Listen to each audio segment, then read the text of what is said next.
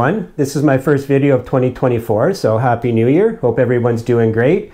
Wish you all the best in 2024. I hope you get out there and do something, push your boundaries, do something that might make you feel a little uncomfortable. Do some of that type 2 fun. I think you'll enjoy it and I think you'll find that it kind of just improves your life. Of course, have some of that type 1 fun and enjoy it, but you know what I'm saying. Get out there and push your boundaries. It'll just make you a stronger person in the end. Alright, so if you're new to the channel, my name is Dean. I've been doing a ton of touring in the last few years, including a cross Canada trip, and I'm getting ready to do the Great Divide mountain bike route in July of this year as well. So big plans and a lot of things have happened already. I definitely always put my gear through the paces. So today I thought I'd come out and talk to you about my new custom made frame bags from Rogue Panda. All right, so let's talk about how I got here first real quick. I, I have had two other frame bags. I'm not gonna get into a lot of detail about them because I do have other videos on them. I'll put links in the description if you'd like to see my thoughts on those bags and why I've come to this bag as well. Um, my first bag was an Ortlieb 4 liter frame bag and no issues with it whatsoever except that the zipper was really hard to open. You can't open it really safely when you're riding, which is an issue. Um, the bag is very waterproof. Um, no issues there. And the other thing was that it's just one compartment. I've always wanted a um, two compartment bag. So that's why I then went to the Blackburn Outpost Elite frame bag, which is just under four liters. Um, seemed promising. It had the dual zippers on the non, on the drive side, a nice handy zipper on the non-drive side for your, your stuff you need throughout the day. Um, the main problem I had was that um, during a rainstorm, it filled up like a fish tank. So again, link in the description for that video if you want to check it out. I'm not going to get into a lot of detail about that. Um, other people have had success with the bag. Those were, were, my experiences with it though. So let's talk about the Rogue Panda frame bag and the Rogue Panda Rincon top tube bag. All right, so how I ended up going with Rogue Panda is just doing research, looking for different companies to try. I'll be honest, there's several companies that I was very interested in. I just thought I would start with Rogue Panda. I like their ordering process, the ability to customize the bags um, in a lot of detail was something that really uh, was interesting to me. So that's why I went with Rogue Panda. All right, so let's talk a little bit about Rogue Panda, the company itself, um, give you a little insight into them and what they're all about.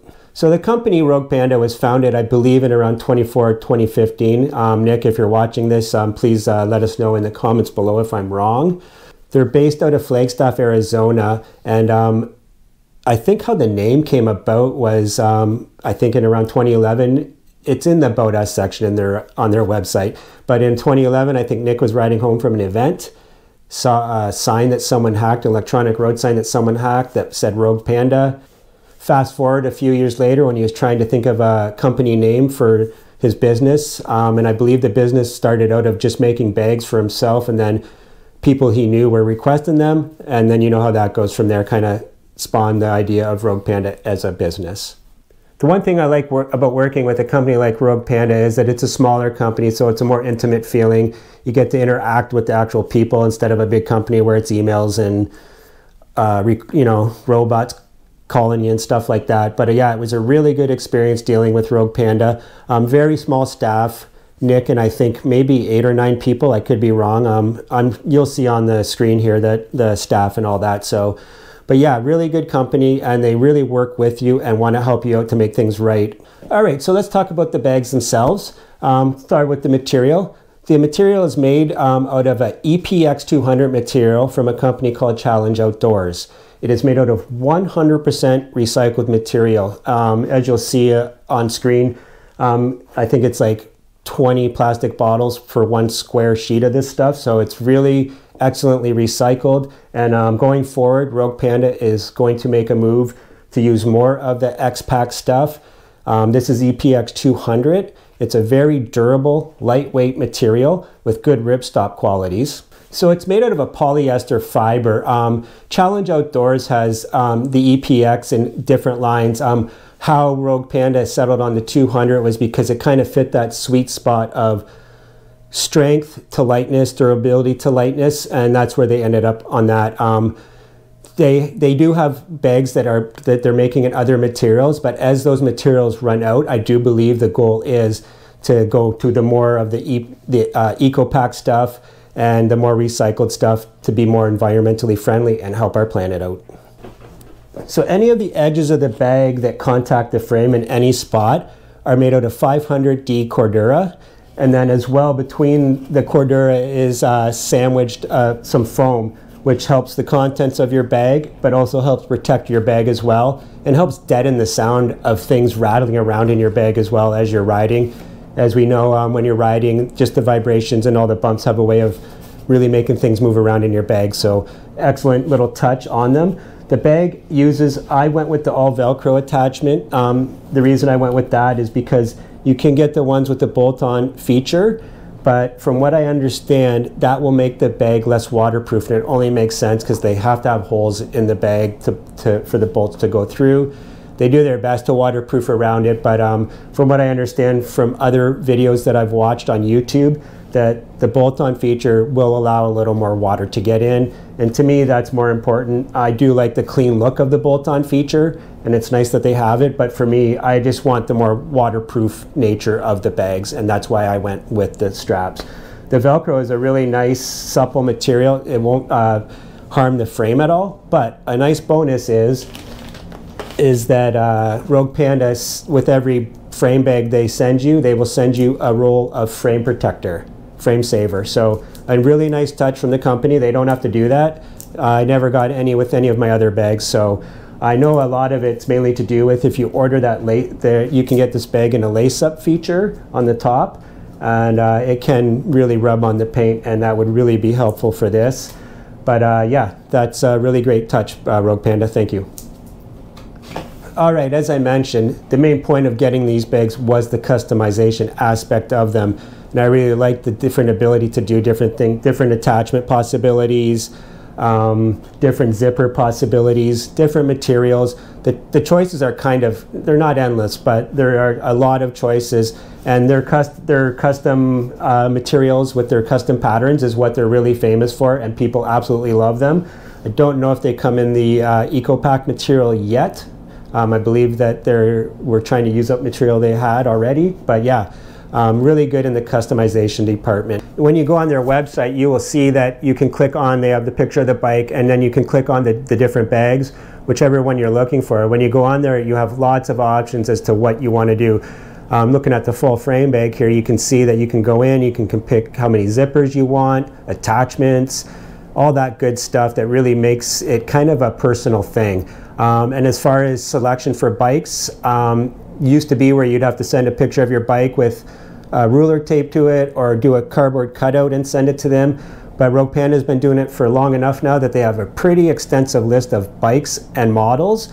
And you can just go right on there, find your bike, find the model, size, and all that. And then it's that easy for uh, Rogue Panda to go ahead and make your bag. All right, so one thing I want to talk about with the frame bag and the waterproof aspect probably the biggest point of failure on most frame bags as far as uh, water getting in is the zippers. These are made out of a number 10 YKK molded tooth zipper. In my opinion, one of the best zippers that you can have on any bag for this type of application. Um, you can get bags with the coil zipper on them, and I have had some bags. I've been trying to hunt down the frame bag, the handlebar bag that fits on my Jones bars because it had the coil zipper and it almost failed immediately and I was just never really confident about the, them being waterproof. It'd be quite often where you try to close the zipper and it would open in the middle, but the two ends would still be closed. So um, coil zippers just are too delicate, in my opinion, for this type of application. So while I haven't tested these bags out, I'm really confident. I've watched several videos on them on YouTube. Bikepacking.com has a really good video on the bags and um, they really test them hard throughout a whole summer and the bags came through with flying colors so pretty confident on on that aspect of them uh, them performing well um, by all accounts the the material um, one of the good things about them is when they get wet the outside it dries almost instantly um, any bag that if you get caught in a crazy crazy crazy storm it will get some moisture in just through saturation not necessarily through the zippers and they will get some condensation inside but um, yeah, I guess by all accounts, it just dries out really nice and uh, is a really good material as far as getting wet. All right, let's talk about the ordering process. Obviously, when ordering customized bags, it's going to take a little longer than just ordering mass-produced bags off, uh, off, the, off the internet. But um, I will say it was pretty good. Um, for me, it took about five weeks altogether from the very time I ordered it till when it showed up at my door. Considering I live in a different country, as I said, they're based in Flagstaff. I'm in Canada. That really wasn't that bad. Um, keep in mind, if you're ordering from a different country, it will take a little longer. Um, but the lead times themselves for Rogue Panda, for them to get making it, is usually about three to four weeks. So keep that in mind as well. Obviously, during the off season, if you have one where you live, that's the best time to order the bags. Um, and I'm sure a lot of people do, so also keep that in mind. It may be a busy time of the year for them as far as production goes as well. Another nice thing, if you are ordering from a different country, well, as far as my experience with ordering from Canada, is that um, the price that you have in your uh, your final price that when you go to checkout is the price with all the duty fees, custom fees, and all that stuff. Instead of having to deal with that down the road and finding out that now you're spending even more, it's all rolled into the price of the bag. And any I believe any um, foreign order um, under $300 does get free shipping as well. So I did not have to pay for the shipping. So I'm really excited about these bags. I'm really excited them to actually put them into some real world use this uh, spring, this coming uh, riding season. Like I said, everything initially, the zippers are just a dream to unzip. Um, everything works really good. I could never unzip the Ortliebs or even the uh, Blackburns with just one hand, so real good feature. The Rincon top tube bag is just going to come in handy for, I'm going to kind of keep all my batteries and kind of electronic gadgets, uh, little microfiber cloths, stuff like that in here. And then on the other side where you'll see where the uh, side pocket is, that's where I'm going to keep my ID, money, um, stuff like that, uh, channel business cards. And then obviously in the main compartment, I'll figure exactly what I want to have in the main compartment going forward. But if you're not familiar with frame bags, don't be afraid to put a frame bag on your bike. If you're worried about aerodynamics and wind and stuff like that, you're loading the bike up anyway, so that really shouldn't be as much of a uh, concern. But anytime you can take the weight on your bike and center it and put it a little lower down, it's only going to make your bike handle better. So if you are getting a frame bag, try to concentrate on putting your heavier items in the frame bag to help stabilize the bike and feel make it feel more planted. So I just wanted to let anybody that's kind of on the fence about a frame bag for those reasons, just to let you know that in my opinion, it has become actually one of my favorite bags on the bike. And like I said, for the reasons I mentioned, it is also a very important bag if you are going to load the bike up. One thing I should have probably mentioned at the start of this video, video and I want to make clear is I'm not sponsored by Rogue, Rogue Panda at all. Um, when I was thinking about ordering from them, I did reach out to the company to ask them a few questions. I did speak to Nick, the founder of Rogue Panda, um, and he was actually very kind um, after my questions, did give me a, a pretty uh, generous discount on the bags. But as well, very exciting, if you have any interest in buying these bags, um, I was offered an affiliate uh, link. So if you look in the description below, you'll see uh, my link for Rogue Panda. If you click on that link and buy any of their products, I get a very small portion of the sales will go to my channel. So if you are thinking about uh, buying their bags, guys, it would really mean a lot to me if you could use that affiliate link. It helps me out quite a bit. Um, I'm really still trying to save up for the Great Divide Mountain Bike Route in July. So please, if you are thinking of buying their bags, check out that affiliate link in the description below. All right, like I said, I'm really pumped to get out there and put these bags through their paces for sure. Um, big exciting news. I think the big test is going to come actually sooner than expected. I'm really hoping to go to Southern California to visit my sister and her family in February. And they live in SoCal, as I think I just mentioned. Um, they live in Temecula, and there's a bunch of really good routes right around there.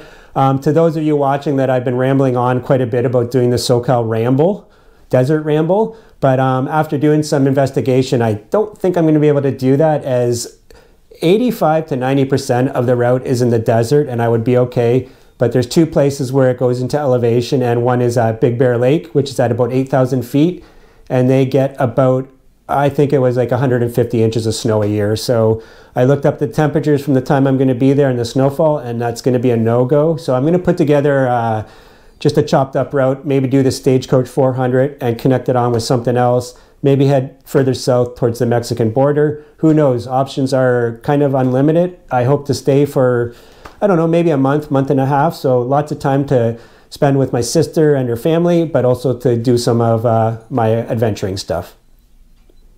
All right, so you already heard me talk about SoCal and getting down there and doing that. And you've obviously heard me mention the Great Divide Mountain Bike Route several times. Um, I just want to take the time right now to kind of talk about that. If anybody watching would like to help me make this happen, um, for me, the biggest aspect of making the Great Divide happen is finances. So um, what I'm getting at is if anybody would like to help me make this happen, um, there's a couple ways you can do it, uh, several ways actually.